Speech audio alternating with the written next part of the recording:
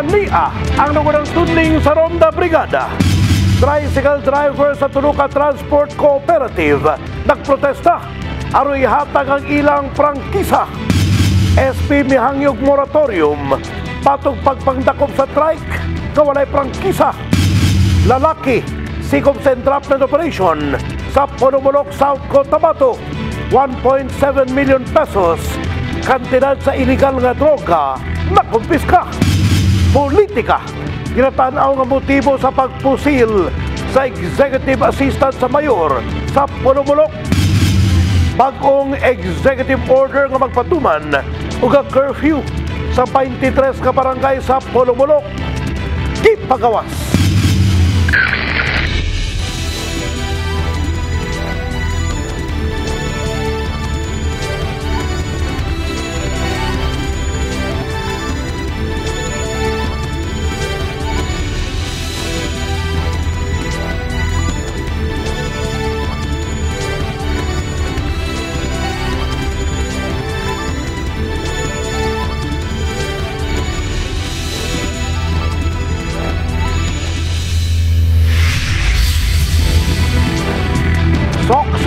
May hapon adlaw Martes, Marso 21, tuig 2023. Live, gikan din sa Brigada News Center. Kami ang inyong mga kabrigada nga maghatag sa inyong mga balita dili lamang sa Soxergen, ingon man sa managlahing rehiyon.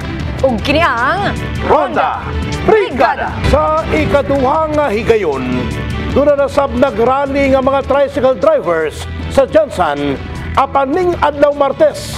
Mao ang kooperatiba sa Apple Green, Red ug White Cluster. Kalabot sa ginahangyong i-release na ang mga prangkisa nga dugay na matud pa nilang ginapaabot. Ibrigada mo Lizel, Lizel Lapaho.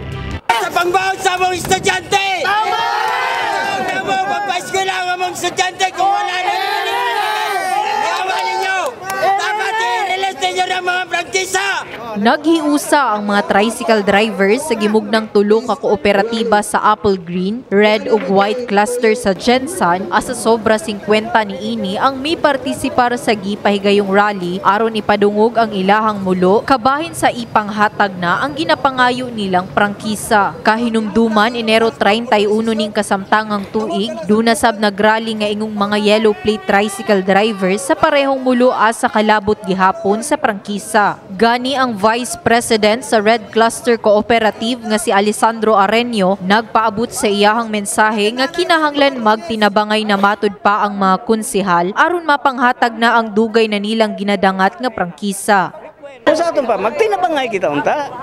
Nagatabang gani kami nga mga opisyal sa kooperatiba nga kami mga volun- volunteer lang kami. Unsa may amo dia wala kami sweldo. Ang miyembro sa Red Cluster Cooperative nga si Asrape Abbas nga niapil matud pa sa gikaingong kooperatiba aron paspas nga mahatagan og prangkisa. Sama sab sa miyembro sa White Cluster Cooperative nga si Samson Dakanay bisan muna-muna lang matud pa ang income ni apil matud pa sa kooperatiba aron mahatagan na sab og prangkisa. Parang nahulog kami sa bitag. Nahulog kami, hindi kami bigyan ng prangkisa. Maawa naman kayo, dito kami kumukuha ng pangkain namin sa pamilya. Kailangan nyo lang kami, eleksyon. Pagkatapos ang eleksyon, wala na kami pag, ano sa inyo ha? Walang pakialam. Walang pakialam. Tapos panahon ng eleksyon, mga plastic. Ngayon, harapin nyo kami. Ngayon harapin nyo kami. Ng mga tricycle driver, mapaprivate to ng franchise. Gusto na mo nga i-release ang franchise. Asa naman mo? Mo man ni ang importante kay panginabuhian man namo. Gani giatubang sa Vice Mayor sa Gensan, Rosalita Nunez, ang mga tricycle drivers nga nagrally aron ibaluon ang mga dungog niini kalabot sa hinungdan sa pagrally ug aron pasabton. Dili man na unfair kayo. Ang katong dili membro, misyonon pa kayo. Kung membro dili na misyonon. Kung saan na lain ka Pilipino, lain na ilang balaod. Kung na isa ka example nga punta ka masabot. Ang balaod kinahanglan angay-angay. Ning adlawng Martes, Marso 21 tuig 2023 asa gipahigayon ang 28 regular session sa Sangguniang Panglungsod tukion pag-usab sa unang pagbasa ang ordinansa kalabot sa rules, regulation and operating conditions kabahin sa paggarantiya sa motorized tricycle operators permit o prangkisa alang sa mga motorized tricycle for hire sa General Santos City. Kini si Liza Labajo in the heart of changing lives. Brigada News. Mihangyo ang sangguniang panglungsod kun SP sa Jensan sa kapulisan ug mayor nga undangon usa ang pagdakop sa mga tricycle nga expire na ang prangkisa. Kinidungan sa gihimong lihok protesta sa pipila ka tricycle driver at tubangan sa SP at sa sesyon Martes sa bundag. Ibrigada mo, Richelle Gubalani.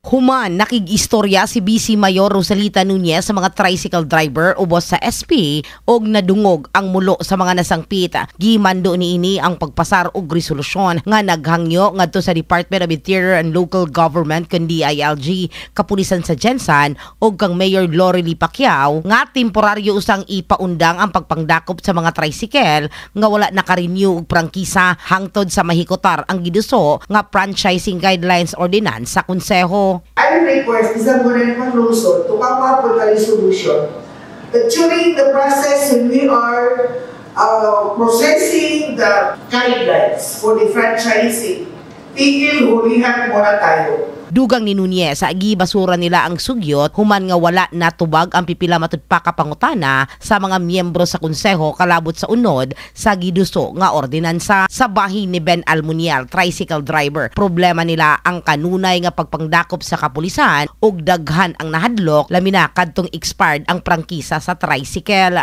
Sabi ni Sir Lagare, yung gusto nila nga ikuan kami sa mga kooperatiba. So, eh naman siguro pwede yun nga, kasi individual sabi nila, mag-individual, eh pwede man, pero franchise man good kami, legal man kami. So, kailangan, eh, bigyan nila ng saktong solusyon kasi problemado talaga ngayon sa ano. Oo, pero sa ginadakot gihapon mo, sir. Ah, sa pagkakaroon na amang gyapong dakop, ma'am, na permanente man gyud na siya. Kana lang mag-iwas lang mi kasi kagaya sa akin, ah, hindi pa man to ah, expired. Pero? Pero yun lang kasi sagabal man gud sa biyahe. Ang iwas na lang kami. Kung pwede, huwag muna yung maghuli-uli kasi na, oh, siyempre normal man yung maghuli pero sa amin, okay man lang kay franchise man kami, mayroon man kaming mga pa- mapakita. Yung kawawa yung lang ano ba, yung mga private, gusto nila maka-franchise. Yun lang, pero hindi pa rin nagmabigyan kasi wala pa man sila nagaproblema pa, wala pa nasulbad ba. Kahibaluan nga duha ka simanang milabay, gibasura sa konseho ang sugyot nga franchising guidelines ordinance sa boto nga walo ang pabor, upat ang dili pabor, samtang usa ang abstain. Una nang gikadismaya ni Konsehal Dominador Lagari Jr., ang chairperson sa komitiba sa transportasyon, ang nahimong desisyon sa mayorya sa Konseho. Brigada Richard Gubalani, in the heart of changing lives, Brigada News.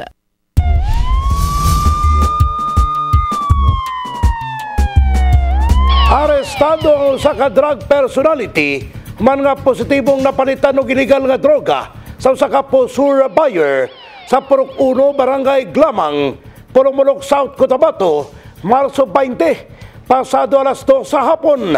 Ang suspect gilang si Ray De Mihilio Caspilio, 36 anyos mag-uuma, ug residente sa Barrio 3, Barangay Rizal, Banga, South Cotabato.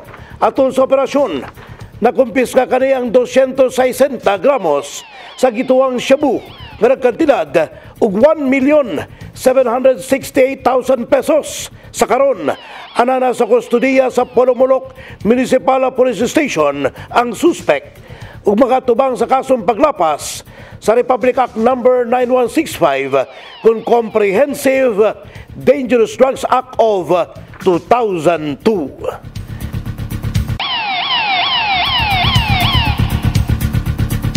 Politika ang unang gitan-aw nga posibleng hinungdan sa nahitabong pagpamusil sa executive assistant ni Mayor Jojo Palencia sa Pulomolok. Kapulisan, may gitutukan ng person of interest sa maong krimen. Ibrigada mo, MJ Fernandez. Gitutukan sa kapulisan sa Pulumulok ang mga person of interest nga posibleng nagpaluyo sa pagpusil angol kay Rayolite Balili, ang executive assistant ni Pulumulok Mayor Bernie Palencia. Kini ang gibutyag ni Police Lieutenant Colonel Joseph Foro III, ang hepe sa Pulumulok Municipal Police Station, human ang gihimong case conference o pagkuha og dugang ebidensya nga posibleng gamiton batok sa mga suspect aron hungtano ng mapasakaan og kaso. Ah, yes ma'am, Ah, nagkaroon tayo ng series of case conferencing itong last week until ah, Saturday. Ah, may mga ano, mga progress na tanga ah, with regards sa shooting incident nga natabo isang Friday. Yes, probably ah, maka-generate kita sang ebidensya Ah, and today, starting today, nag-start na ang aton nga documentation But then, uh, pag enough na ang ma-generate na itong ebidensya, then we will go into file the case. Dugang paniforo nga sa karon gisugdan na ang paghimo og mga dokumentasyon ug kung ugaling sakto na ang mga gitigong nga ebidensya, mas mapakusog pa niini ang pagduot sa mga nagpalayo sa moong krimen. Yes, actually, uh, as per uh, findings ng aton nga Special Investigation Task Group, nga mismo atong Provincial Director na confirm nga ini is uh, related sa politics. Sumala pa niini nga nahimong dakong tabang ang mga CCTV footage nga nakuha atol sa pagpamusil aron nga hugtanong mailhan ang mga person of interest kalabot sa mong insidente. Gibutyag usab ni Foro nga una nang nagpagawas og pahayag ang acting provincial director sa South Cotabato Provincial Police Office nga si Police Colonel Cedric Earl Tamayo nga ang politika ang posibleng hinungdan sa nitabong krimen. Wala na usab gipagawas pa sa nasampit opisyal ang dugang pang detalye kalabot sa mga nahisgutan sa case conference. Gumikan sa padayong investigasyon kahinunumang gipusil si Balili samtang sakay sa iyang sakinan nga pasulod unta sa Municipal Plaza sa Pulmulog ug kasamtangang nagpaalim sa Balay Tambalanan. Kini si Brigada MJ Fernandez in the heart of changing lives. Brigada News. Nagpagawas og executive order ang LGU Polomulok kalabot sa pagpahugot sa seguridad dili lamang alang sa mga menor de edad apan sa tanang lumulupyo sa munisipyo. 23 ka mga barangay kapitan gimanduan sa pagpatuman sa mando. Atong balikan si Brigada MJ MJ Fernandez Nagpagawas og kamanduan ang lokal nga panggamhanan sa Pulumulok South Cotabato kalabot sa pagpatuman sa curfew hours alang sa tanang lumulupyo sa mga munisipyo. Base sa Executive Order number 09-2023, nakalatid sa maong EO ang pag-implementa sa curfew hours gikan alas 10 sa gabi hangtod alas 4 sayo sa kadlawon o kinahanglan ipatuman sa 23 ka mga barangay sa Pulumulok. Usa sa mga unang nakadawat og EO mao ang sentrong barangay nga mao ang barangay poblasyon kung asa gibutyag ni Kapitan Jigs Buntuyan nga ang unom ka oras nga curfew ang alang sa pagpahugot sa seguridad dili lamang matod pa kini alang sa mga minor de edad apan alang sa tanan. Kini siya mo uh, mo cover sa dili lang kay sa poblasyon no? Pero kung dili tibok yun nga pulumulok. Municipality of pulumulok. Kani nga unom ka oras nga curfew hours sa entire pulumulok. Ah ato ning gi emphasis po tugod manggod kay sa may tabo karon ato po para po ma-implement ato atong peace and order di sa barangay level na sa barangay poblasyon. Mga kami sa ato ang mga together with the PNP and together with the BIPAT amo ginag-implement so kan kabi pa. Kay sumala pa nga ato pong kanon ang mga lawless element. Nga dili makasulod diri sa barangay. Ang maong kamanduan ang gipaboran usab sa mga residente tungod sa kaayuhan matud pa ang maangkon niini og alang usab sa kahapsay sa munisipyo. uh, favor kay ko anang curfew nato karon kay daghan og mga nagakahitabo diri sa banwa sa Polomolok og especially sa mga kabatan-una nato karon so need pud nila nga maging safe pareha po sa mga empleyado kailangan pod nga safe pod ang tanan Pero actually tinuod bitaw na dapat ang curfew ginarespeto nato no. Dapat may limitation gyud. Kay syempre ang curfew mao na siya naghatag og maayong nga seguridad tama to yung giingon. alas 10 taman ang curfew. Kung maabot na na siya og lapas na, sumurag delikado naman na, di naman maayos itong kuan. Gibutyag sa naasing kapitan nga ang pagpagawa sa maong kamanduan ang may kalabutan gihapon sa paglikay nga mausab ang mga serye sa kriminalidad sa nasambit nga munisipyo. Samtang gibutyag nga mamahimong exempted mga trabahante nga gauli sa tungang kagabihon apan kinahanglan lamang magpakita ang mga dokumento sama sa ID. Kini si Brigada MJ Fernandez in the heart of changing lives. Brigada News. Aron masiguro ang kalinaw og seguridad sa katawhan, ang mga personay sa Bula Police Station nagmugna og kap-kap bakal o gisita ang mga individual sulod sa mga balay imnanan sa ilang area of responsibility. Alang sa dugang detalye, ibrigada mo, Enemy Bugpon. Gisulod sa mga personahe sa Bula Police Station ang usa ka balay imnanan sa Pia Charon Boulevard, Barangay Dadyanga South Jansan, gabi sa Marso 20 ug gikapkapan ang mga individual nga nag-inom sa sulod. Tumong matod pa sa kapulisan aron masita ang mga individual nga makitaan og kadudahang lihok. Lakip ang mga nagadala og hinagiban sulod sa mga imnanan. Sumala sa patrol team leader nga si Police Staff Sergeant Freddy Aposter, matag gabi sila nagahimo ni ini ilawom sa supervision sa ilang hepe nga si Police Captain Ari Noel Cardos ug kuyog sa kapulisan ang mga force multiplier gikan sa barangay Bula. para sa kalinaw sa atong mga ah, komunidad ah, nga nagainom sa mga bar kanang mga diliingon nga mga tao nga nagatambay sa daplin nga suspicious aton anang kanang sitahon aron kung naa sila ginabuhat nga dautan ma-prevent dayon Mm.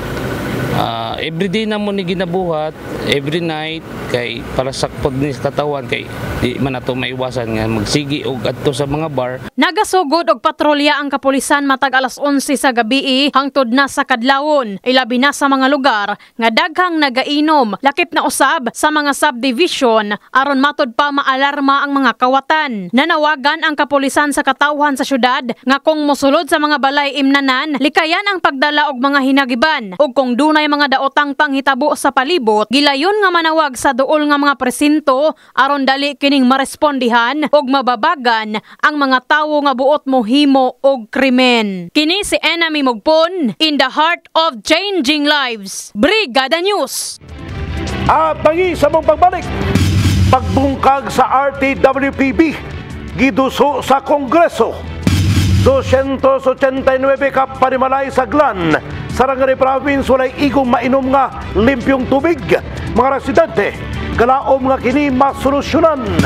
Magpabalaod, gibutyag nga kinanglan matud pa himuong barato ang internet access sa Pilipinas. Karang tanan sa pagbalik sa Honda Brigada. Luyo sa insidente sa Kamatay, nakalabay semana na inimungan sa motorcycle riding gunman. Mas giugtan karon ng seguridad sama sa pagpatuman sa Oplan Kapkap Pakalog Sita. Lakip ang pagpahugot sa checkpoint pasunod sa syudad. Ibre mo Richel. Richel Gubalani. Dungan sa pagpahugot sa seguridad, giangko ni Police Colonel Jomar Alexis Yap, City Director sa General Santos City Police Office, base sa iyang presentasyon sa sangguniang panglungsod Martes sa buntag atol sa sesyon, nagunang hinungdan sa kamatay sa Jensan, mo ang personal nga bangi sama sa away kalabot sa transportasyon, land conflict, drug-related o love triangle. makikita natin pag ganito talaga yung urbanization na tinatawag natin. Eh, lalo na sa ngayon yung poverty ang problema. Eh, dito naman sila magte-take ng opportunity yung mga criminals. Yun yung nakikita natin right now. Sir, isa sa mga parang medyo mainit is yung mga land disputed area na parang pinagtataguan ng mga criminal or considered as safe haven. Um, is it alarming na parang ginagawang taguan yung mga land disputed areas sa city? No, hindi natin pa masabing alarming un- unless ma-confirm natin ng ah, information, ma- masuporta natin ng information. Kasi marami namang areas na land conflict, pero tahimik naman. Sila may conflict, may problema lang doon, pero wala namang mga insidente doon. Kaya lang may mga insidente kami lately na kung saan yung mga claimants, nahulian namin ng mga baril. Doon. Oo, doon sa area ng Mabuhay. Eh, ito ay mga claimants at nag-ano na nga to, nagreklamo na noon sa sa National Headquarters, pinatawag natin sila. Then we just found out na meron silang mga baril. So, nakakagulat yun. Ah, sila yung na-expect namin na who will be supporting sa claim nila sa make, making it peaceful sana. Pero sila naman yung may mga nahulian ng baril. Sa maong presentasyon niya, gikan Enero 1 hangtod Marso 14 ni kasamtangang tuig, misa ka na sa 55 ang kaso sa kamatay nga natala sa syudad. Sa ihap, 26 ang cleared o nailhan na ang mihimo sa krimen. 22 ang narisolba, pinaagi sa pagpasaka og kaso, samtang ang unom ang pabiling giimbestigahan. Samtang sa datos sa krimen nga gigamitan og armas, 33 ang record sa Jensan, 24 niini ang murder, samtang siyam ang homicide. Sa most populated barangay usab sa Jensan, sagad na hitabo ang krimen sama sa barangay Fatima, Labangal ug Kalumpang. Una nang gibutyag ni Konsehal Jose Edmar Yumang, chairperson sa komitiba sa Peace and Order sa konseho, nga gipatawag niya si Colonel Yap aron mahatagan og katin-awan ang mga gakahitabong kamatay sa Jensan. Although I have instructed uh, the good city director to appear before the Sangguniang Palusot and appraise us uh, regarding the security measures that he has planned and uh, implemented to secure the lives and safety of the generals. Uh, we have an initial talk and uh, under is- in the investigation, those perpetrators are hiding Kay Buluan nga personal nga bangi ang gisundang motibo sa kapulisan sa pagpamanhig patay sa magtiayong negosyante na kalabay nga si Mana. Brigada Richard Gubalani in the heart of changing lives. Brigada News. Ang ayan nga bungkago na ang mga ang mga Regional Tripartite Wages and Productivity Board o RTWPB sa nasod. Ang kahinay sa RTWPB sa paglihok sa mga ginaduso nga pagpasaka ug suhulan ang usa sa mga gihimong rason ni Kabataan Party List Representative Raul Manuel. Alang sa dugang detalye, ibrigada mo, Dani Kasi. dapat uh, buwagin na yung mga regional wage board. Giangko ni Kabataan Party List Representative Raul Manuel nga lakip sa ilang ginadoso sa Kongreso ang pagbungkag sa RTWPB. Dungan sa pagbungkag sa Regional Wage Board, ginadoso usab nini ang national nga minimum wage. Sigun sa magbabalaod nga ang katakos sa usa ka mamumuo nga pareha sa uban nga rehiyon o galing kay gamay ang sweldo hinungdan nga mapugos sa pagbalhin o mamahimong mabiyaan na ang pamilya aron lang nga makaangkod og taas nga suhulan. Sa ating uh, observation, eh, lagi sobrang bagal ng uh, proseso sabihin na titingnan, aaralin, uh, yung pagtaas ng sahod, Sa bahin sa business sector, walay laing komento ang presidente sa General Santos City Chamber of Commerce and Industry Incorporated nga si Ben Claudio. Gawas lang sa pagkanayon nga demokratiko ang proseso sa Regional Wage Board. Well, uh, ako naman is, uh, you know, the process there is uh, very democratic. May public hearing, both sides are being uh, given the privilege to hear their their dissent or whether they are in favor. Samtang sa isgutanan nga kung makaya ba sa mga negosyante kung galing nga adunay idoso karon nga pagpasaka sa sweldo tungod sa nagapadayon nga pagsaka sa presyo sa mga panaliton ang tubag ni Claudio Well, depending on what uh, the uh, they are actually asking for. So, meaning, uh, we'll, we'll wait and see on that. Kahinumduman nga una nang naghatag og komento ang nisgutan nga suntok sa buwan ang ginaduso sa Senado nga dugang 150 pesos sa patag adlaw nga suhulan sa mga empleyado. Kini sa Brigada Dani Kasi in the heart of changing lives, Brigada News. Nangayog pasensya sa mga residente sa Glan, Sarangani Province, ang Water District nini doon sa hinay nga aga sa tubig nga nasinatian sa pipilaka barangay. Mainom nga tubig nga dugay ng mulok sa mga residente sa Purok Asusena, Victory Village, Barangay Taluya, Glan. Hangtod karon ginalauman nga masolusyonan. Ibrigada mo Russell Jean. Russell Jean Magpile. Usa sa dakong problema ug mulo sa mga residente sa Purok Azucena Victory Village, Barangay Taluya, Glan, Sarangani Province ang supply sa tubig. Sumala pa kang Victor Fajardo, residente sa maong lugar nga nakainabi sa Brigada News Team, parat nga tubig ang ilang ginainom nga ilang ginakuha sa tangke sa kantidad nga 2 pesos matag container. Pugos lang jud mig inom aning parat-parat.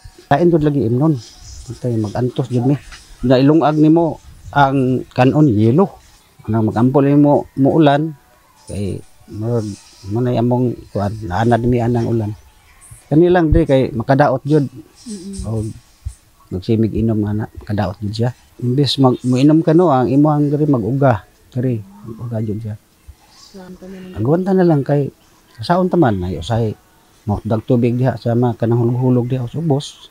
Wa mi laing mahimo kay layo man kay didto sa kuan highway. 289 ka household matod pa ang apektado. Bisan sila dili sigurado sa mamahimong resulta ni ini sa ilang panglawas. Apan wala sila'y mahimo kun dili antuson na lang ang kahimtang basta aduna lang mainom. Saysay sab ni Norma Gentica purok chairman sa nasangpit nga lugar sukad pa kaniadtong 2012 nila kini na sinatian ug giduol na sad nila kini sa ilang barangay aron unta mapangitaan og paagi. Apan naglisod matod sila tungod sa walay kalubngan sa tubo aron nga makasaka kausab kanila ang tubig. Mapilit ang uban og gamit anig lungag, ang uban pud mapilit pud og inom butangan lang daw guys. Kung wa na di mineral sa ubos, kung wa na piulan. Oh, pero ako lang ipangutana, wala ba naglain ninyo tiyan? Wala man po daw. Kay kung unsa, akong ipakuan ba? Ipa-check gud nako. Kay mamanginom diya gyud sila ani. Muna gani unta nga amo lang yung giampo nga ug naa lang untay makatabang namo nga maka tubig jud mi diri. Pasalamat jud ko number one sa Ginoo ug sa motabang namo ana. Kamo jud na kinapaitan jud namo diri. Kay sa pagkakami diri nga namuyo diri mo mangud mi naabot mi diri kay tungod lagi sa mo ang kapagawadon jud. Oh, hinata gani ning yutaan ni sa mo ah Gani, tubig ulan ang ilang ginakwaan o ginainom matag adlaw. Ug sa pahayag ni Nanet Tejano Ibo, usa ka barangay nutrition scholar sa maong barangay. Noon, wala may natala nga dunay nagkasakit sa tubig apan siya mabalaka usab tungod sagad sa mga nagtiner sa maong dapit mga bata o ginalauman na lang nila nga dunay makatabang kanila. So ang uban nga wala jud ikapalit, so mag-atang gyud og mag-ulan, mag-ulan, mag-saving sila sa ulan nga tubig. So dili na ko sure nga gina-sterile ba nila ang maong tubig pero ang sa ano manggod ang sa ulan manggod dili na ko ma, ma-supervise ang mga uban nga household kay wala pod siguro kawadon. So ditso na lang sila inom kani kung mao ni madaot na ang among gikabalakan kung naisunog, mga trahedya nya about sa mga, mga estudyante, kami nga nagtrabaho. So dili kaayo mi komportable sa among tubig diri. Samtang, gisulayan sab og kuha sa among team ang bahin sa mayor sa maong munisipyo apan pakyas tungod duna kini gimbuhaton sa bahin usab sa personay sa Glan Water District ila pa sab ginapangitaan og paagi nga maka-extend sa lagyong lugar tungod karon hinay pa ang pressure sa ilang tubig aron nga makasugakod sa mga tag-as nga lugar. Ang naguba ang pump ma'am ha, ang booster pump katong sa distribution dapat kung na okay lang unta tong naguba, wala nang tay problema ma'am. Sulbad na tanan kay naka-experience na mi og kusog. Nang buto na mo mga linya kay kusog kay pressure. Gwapo kayo. Sa test run na mo within 6 months unta, 4 months pa lang na, na naguba na ang pump. Hantod na baha, ah, wala na gyud nagamit. Samtang, aminado ang mga personay sa Glan Water District nga milabayng simana. Nagka-problema sila sa agas sa tubig. Tungod duna matod sila ginaayo. Apan sa karon nabalik naman kini sa normal gawas na lang sa mga peak hour. Asa daghan matod pa ang gagamit. Hangyo na lang matod nila sa mga residente nga sila masabtan tungod ila sab kini ginapangitaan og paagi aron nga masolusyonan. Sa ilang gipahigayong survey usa sa ilang nakit ang problema kung nganong daghan ang nakasinati og hinay nga agas sa tubig tungod sa mga karaang clog nga gamit ingon man dunay mga nakabara sa matag tubo. Sa katong mga household dito sa Kalabanit, wala so far wala may problema unta di ma'am. Kana lang magdungan, nya mudungan pud ang kaning eskwelahan so ma, ma, ma short yun siya sa supply. O ni connect sila direkta sa among mainline nga 2 2 didos ang kadako sa sa P5.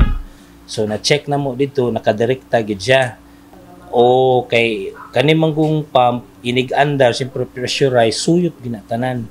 So ang katong mga household nga kuan inig abri mawad mawadaan jud sila. Kay suyupon man tanan sa pressure pump. Ingon man, gi kinahanglan pasab nila og dakong kantidad aron nga masulbad ang mga mulo sa kadaghanan nga masuplayan sila sa igong supply sa tubig nga ilang gikinahanglan. ang amo lang gikuan ang budget lang jud ma'am. Mora gyud na kay og naalon tay mo suporta nga subsidy subsidy sa national or local wala untay problema kung suportaan lang unta kaning mga problema dali ra kay mahuman ma'am Kini si Russell Jean Mantile in the heart of changing lives. Brigada News. Hinay ug mahal nga internet connection ang pipila lang sa nasinatian sa nanag-i og internet shop ug mga residente sa Jensan. Gani, nang hinaot sila nga mapatuman ug mamahimo ng abot kaya ang presyo sa internet sa nasod ilabi na nga kinahanglanon matud pa sa pag-eskwela sa mga kabatanunan. Ibrigada mo, Lizen Labaho. Ning panahuna, kinahanglano na ang internet connection sa katauhan alang sa ilahang trabaho, pag-eskwela o bisan pa man sa negosyo nga bahin. Sama lang kay Jason Maglunop, tulo ka tuig ng dunay internet cafe. Asa matagbulan gabayad matud pa sila og 2,000 pesos alang sa internet connection, lahi pa ang bayad sa kuryente. Mingaw na matud pa ang iyahang negosyo sugod duna nay face-to-face classes. Lahi kani adto nga online classes pa ang mga estudyante. Ang gikaingong negosyo dakong tabang pinansyal matud pa alang sa panginahanglanon sa iyahang mga anak. Natural, ang customer, kung naay customer kag kuan dia, magyaw-yaw man kay hinay ang connection. Kung sa kuha, okay, okay kayo kay mulis man atong bayronon sa kuan sa bayronon sa internet. Ang inahan nga si Rosie Alicancan kasagsagan sa pandemya nagpataod matud pa sila og internet connection tungod kinahanglanon sa iyahang tulo ka estudyante sa kolehiyo alang sa online class ug pang-research. Ning panahon asa mahal na ang palaliton bugat matud pa ang magbayad og 1,300 pesos alang niini matag bulan tungod duna pa sila'y ginabayran nga tuition sa ilahang anak. Ay para sa ako ah, mas maayo yung taon na. Kay importante yung taon na sa mo ah, labi na na ako estudyante magamit niya na sa ilahang pang eskwela so ang internet mong good di para sa una nga ano lang di ba so kailangan ka pa mag-research so gastos na hago sa oras Sa usa ka forum sa Senate Committee sa Public Service, gibutyag ni Senator Win Gatchalian nga anaa matud pa sa 2,057 pesos ang average cost sa internet sa nasod. Asa dunay 60 megabits per second kun Mbps ang internet speed ni ini. Taas matud pa og 5% ang kantidad ni ini kumpara sa Singapore nga dunay monthly cost nga 1,951 pesos asa ang average speed mukabat sa 234.6 Mbps. Gani, kinahanglanon matud pa nga i-upgrade na ang kalidad sa internet service sa nasod butyag pa sa senador. So the best way to make sure that education will continue in whatever circumstance is to make sure that we have internet accessibility throughout the country. Uh, I filed a bill actually to promote um, satellite-based internet technology. I think that's a way forward for our country. But the learning there is we should look at all forms of technology to roll out internet as quick as possible. Ang pag-increase sa pag-access sa publiko sa internet, pamaagi aron makamugna og trabaho, public service sama sa edukasyon ug healthcare services. Kini si Liza Labaho, in the heart of changing lives. Brig Gada News. Maayo og paspas nga serbisyo. Lauman matud patungod sa mga bagong motosiklo ug ekipo nga nadawat sa nagkadayang opisina sa lokal nga panggamhanan sa Jensen. Ibrikarmo Fair. Fair Jason.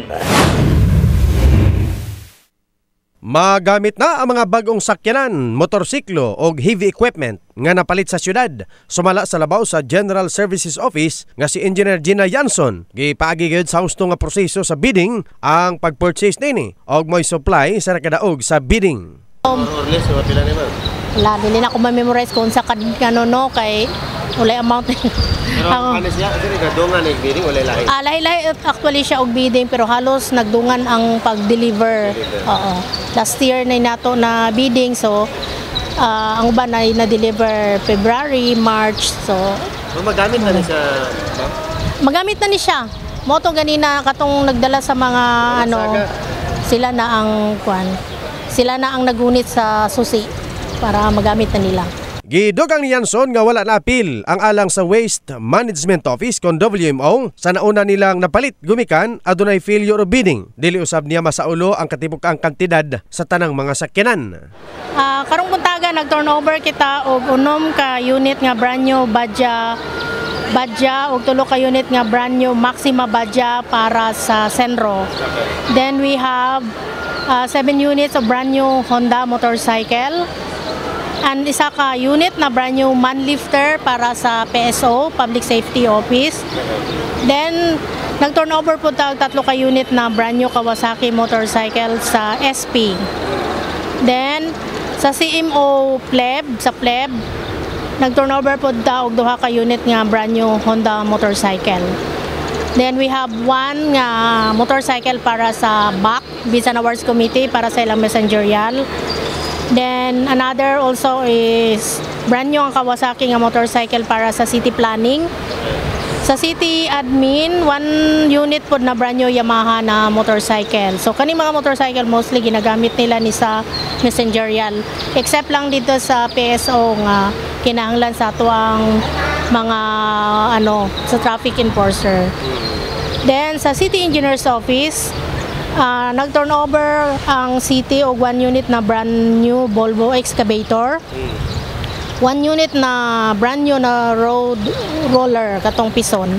And then another na brand new pod na grader, road grader. Kahibaluan nga human sa regular nga flag ceremony sa Oval Gymnasium, gihimo ang turnover sa mga sakyanan nga giplastar sa atbang sa Oval Gym. Ang naadto sa City Engineering Office, usa ka excavator, usa ka pison, ug usa ka grader. Ang naadto sa City Administrator's Office, usa ka 1 to 5 nga motorsiklo. Ang naadto sa City Planning Office, usa ka motorsiklo. Ang naadto sa People's Law Enforcement Board, duha ka 1 to 5 nga motorsiklo. Ang naadto sa Sangguniang Panglungsod Secretary, tulo ka mga motorsiklo. Ang naadto sa Public Safety Office, pito ka mga 1 to 5 nga motorsiklo ug usa ka man lifter. Ug ang naadto sa City Indro, unom ka mga single nga motorsiklo ug tulo ka mga three-wheeler. Gipangunahan ni Mayor Lorly Pacquiao, Vice Mayor Rosalita Nunez o kauban ng mga konsyal ang turnover ceremony nga usa ka palisiya bago pa magamit ang mga sakyanan. Kay bulan nga nakalatid sa Department of Interior and Local Government kon DILG Memorandum Circular 2001-004 Revised Guidelines on Motor Vehicle Acquisition by Local Government Units nga dapat ang paliton katong makatipid ang gobyerno. Kini si Jason in the heart of changing lives. Brigada News. Nalipay ang mga residente sa Carcon Village, Lagao. Kauban ang atong mga kabrigada sa Brigada News FM Jensen nga ni apil sa Brigada Kalingawan. Ibrigada mo, Verd Yazon. Dungan sa pagsubang sa adlaw sayo sa buntag na mainit ang makatawhan sa Carcon Village, Barangay Lagaw. Samtang ang uban na mainit sa Power Cell Cerebral Capsule o Power Cell sa labat. Ang uban usab nagzumba. Sumala sa usa ka senior citizen nga si Lucina Yatan, 71 anyos. Gilamian kay siya sa kape nga iyang giinom. Mamo na akong pagkapaliton. So, sige kag take karon. Oo. Para sa Ako nang i-maintain para palis kay mananas lawas ko. Wala kay blood, wala blood. Wala. Gipangunahan usab ni Maria Vilma Adrales ang iyang grupo sa Zumba og subala pa nini gilamian usab siya sa Power Cells sa labat. Luwas sa libre nga kape og pandesal na gisugdan ang kalingawan sa saya usab sa mga kabataan kuyog ang Brigada Angels. Iabi-abi usab ni Brigada Ernie Gabunada ang makatawhan sa Carcon o gipasalamatan sa suporta sa 89.5 Brigada Stephen Jansen.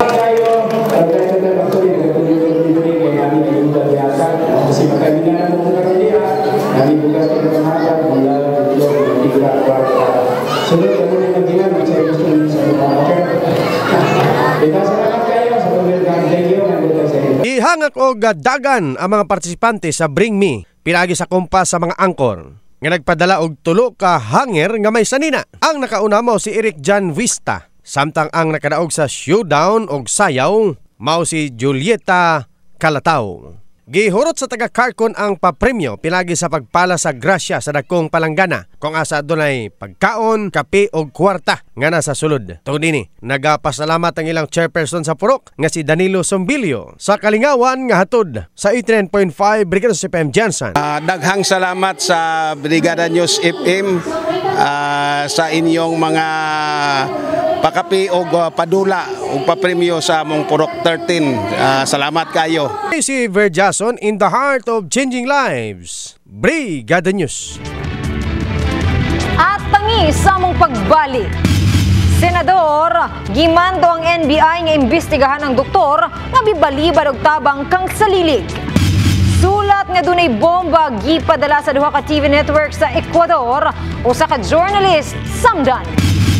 Og baka sa Australia, pinasahi ang body markings nga smiley face.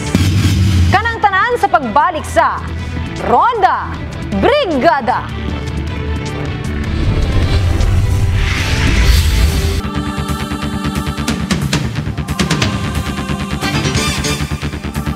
%93% sa mga adult Filipinos ang nagtuong humana ang krisis nga dala sa COVID-19 sa nasud. Kini ang migawa sa pinakauling survey sa social weather stations. Asa dunay 1,200 nga mga adults ang gisurvey nga gipahigayon neto Disyembre 10 hangtod 14. Migawa susab sa survey nga dunay 59% na balaka samtang 18% ang wala kayo na balaka ug 13% ang wala gyud na balaka nga mobalik pang sitwasyon sa COVID-19. Kanundumang gitala sa Department of Health ang parayong pagkunho sa kaso sa COVID-19 sa nasud.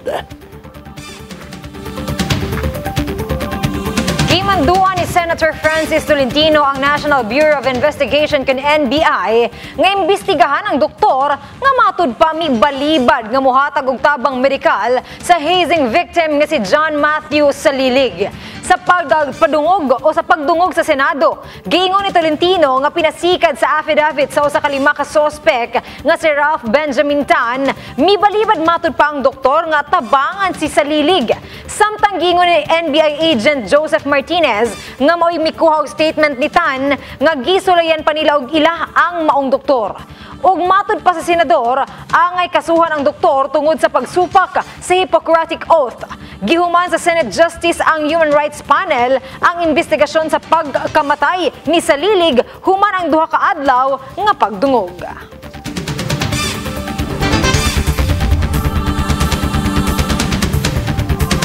Samdan ang usa ka journalist human ang pagbusikad sa bomba nga lakip sa usa ka sulak dito sa Ecuador.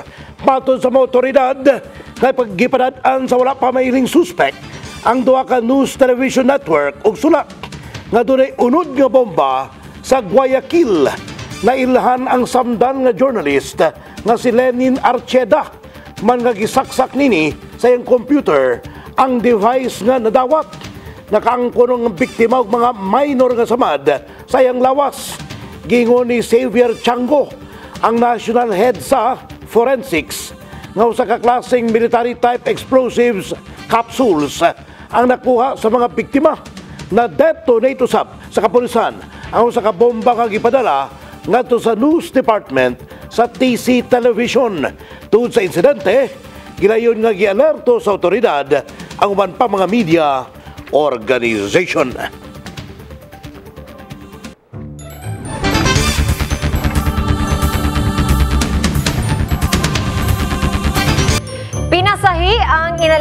Inalimahang baka sa Australia tungod sa talagsaong body markings nga smiley face sa lawas ni ini.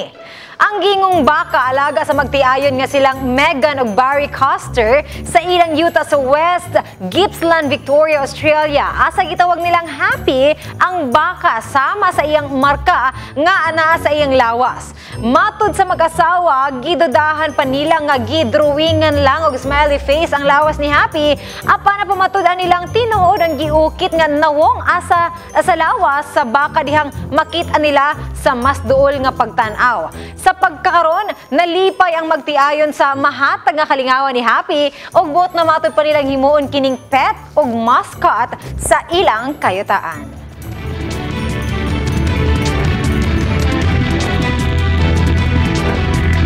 Padayon gyapon sa pagdawat ang Kabrigada Foundation Incorporated alang adto sa mga kabrigada nga ginanglan og hinabang alang sa cash donation. Mamay mo kining ipadala sa Kabrigada Foundation Incorporated Security Bank Account Number upat ka 0-378-40172 alang sa in-kind donations ipadala kini sa Brigada Complex nga naimutang sa NLSA Road para kay San Isidro, General Santos City. Samtang sa mga gustong may mong brigada volunteer, pwedeng mudangup din sa estasyon ug magpalista. Naglangkob sa Ronda Brigada karong adlaw Martes. Mga storya ang 24 oras nga gitutukan sa news team sa Brigada News TV. Ako si Brigada CJ Serding, in the heart of changing lives. Kinatibuk ang pagserbisyo atud alang sa publiko. Walay sagol bakak, tanan alang sa kamaturan. Kini, si Konsehal Atornikan, Kasaligan Balyeke. Palaban para sa taong bayan, kun para sa tao. In the heart of changing lives. O kini ang Ronda Brigada.